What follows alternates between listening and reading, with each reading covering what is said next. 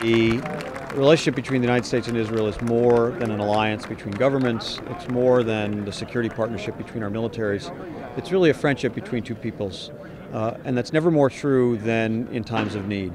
Uh, in the last week, Israel uh, has had to face a tremendous challenge dealing with scores, even hundreds of wildfires, some of them caused by arson. Uh, and uh, while their own firefighting service uh, did a tremendous job, uh, very bravely uh, worked to put out those fires, uh, they were in need of assistance. and so many countries came to their assistance, including the United States.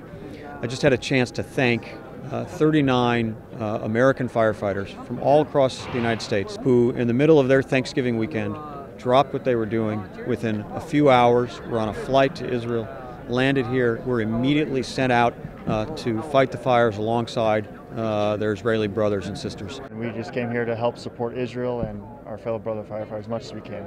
Proud to be able to do it. It's our honor to come, and I know they would do the same for us. So. And what it says to our Israeli friends here is it's not just the U.S. government standing behind them, which we do, it's not just the U.S. military, it's the people.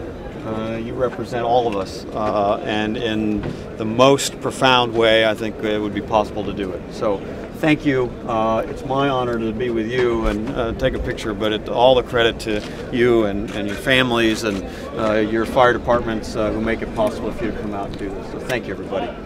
Thank you. Thank you. Thank you. So,